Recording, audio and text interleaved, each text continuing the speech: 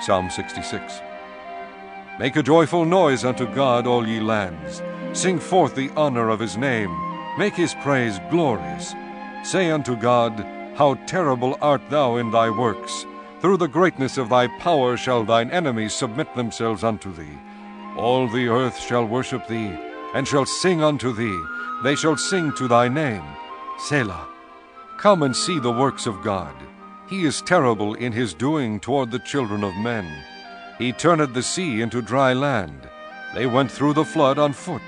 There did we rejoice in him. He ruleth by his power forever. His eyes behold the nations. Let not the rebellious exalt themselves. Selah. O bless our God, ye people, and make the voice of his praise to be heard, which holdeth our soul in life, and suffereth not our feet to be moved. For thou, O God, hast proved us, thou hast tried us, as silver is tried. Thou broughtest us into the net, thou laidst affliction upon our loins. Thou hast caused men to ride over our heads. We went through fire and through water, but thou broughtest us out into a wealthy place. I will go into thy house with burnt offerings. I will pay thee my vows, which my lips have uttered, and my mouth hath spoken when I was in trouble.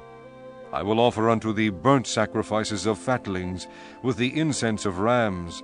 I will offer bullocks with goats. Selah.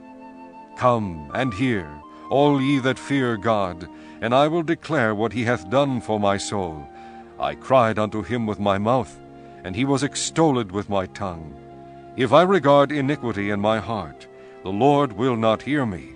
But verily God hath heard me, he hath attended to the voice of my prayer.